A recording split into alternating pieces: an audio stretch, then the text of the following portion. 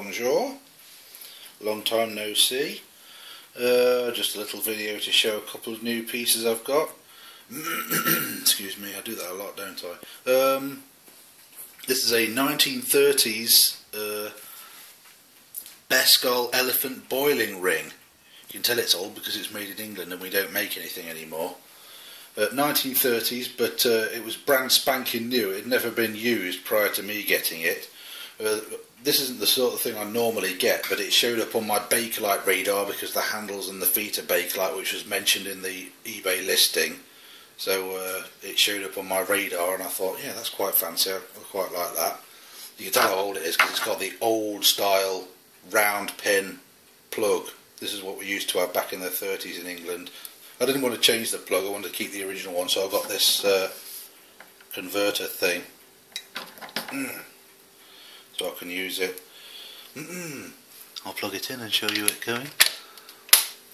It's literally just designed for replacing a gas ring. If you didn't have gas in your house or something, you could just use this. I could use it for the kettle, I suppose, but that would just be looking for excuses to use it. Works perfectly well. It's got this little grill that you can fold up for some unknown reason. But yeah, perfect condition. The old fabric covered flex.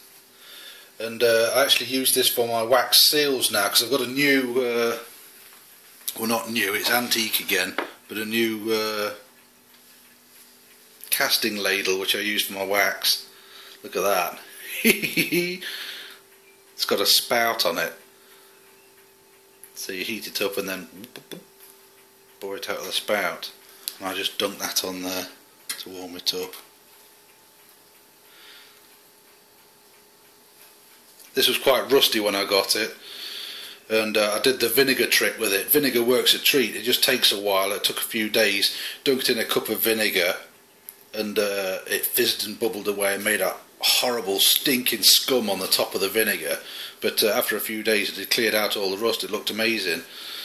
But uh, when people do that with uh, cast iron cutlery, uh, not cutlery, um, like pans and things like that, they then have to recondition the surface with uh, oil. They sort of cook it with the oil on it, so it creates like a skin to stop it from rusting again. I couldn't really do it with this because this is going to be used for. It's not going to be used for cookery, obviously.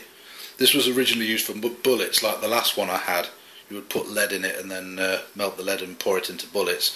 So I just melted wax and then you can see it's sort of got a red hue to it. I just coated it in wax basically, thin sliver of wax that will just protect it from the air and stop it from rusting again. So yeah, that's uh,